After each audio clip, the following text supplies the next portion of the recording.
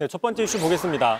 묻고 더블로 가. 네, 유명한 이야기죠. 네. 다음 달 전남 영광 곡성 군수 재보궐 선거를 앞두고 민주당과 조국 혁신당 간의 경쟁이 심화되고 있습니다. 좀 보면서 설명을 드릴게요. 이재명 대표 어제부터 1박 2일 정도 지역 일정을 하고 있는데 자, 오늘은 저렇게 콤바인도 직접 타고 벼농사 네. 체험도 했고요.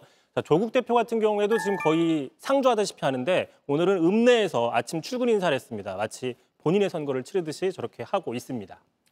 네, 뭐 여기 사실상 야당 강세 지역인데 이재명 대표가 벌써부터 찾은 거는 조국 혁신당과 경쟁이 만만치 않아서라는 그런 분석이 나오죠. 그렇습니다. 그러다 보니까 공약 경쟁도 치열해지고 있는데요. 어제였습니다. 이재명 대표가 그 영광의 1인당 예산 중에 약 100만 원 정도를 절감해서 지역 화폐로 지급하겠다. 오늘도 재강조를 했고요.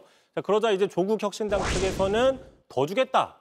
민주당보다 더 주겠다는 얘기를 했습니다. 뭐 신재생 에너지 그 이익제로 매년 천만 원씩 지급하겠다라고 묻고 얘기를 했습니다. 더블로가 아닌데요. 그렇습니다. 뭐꽤 묻고 더블로가 뭐 네. 이런 느낌인 것이죠.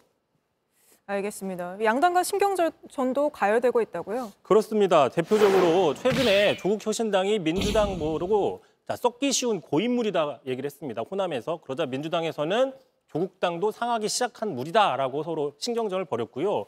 또 최근에 지난주였죠. 김건희 여사 특검법에 대해서 조국 혁신당 조국 대표 등이 불참한 것에 대해서 비판을 하니까 조국 혁신당은 아 우리는 비교섭 단체라 회의 일정을 제대로 통보받지 못했다 이렇게 반박을 하고 있습니다. JTBC 뉴스를 시청해 주셔서 고맙습니다. 저희는 저녁 6시 50분 뉴스룸에서 뵙겠습니다.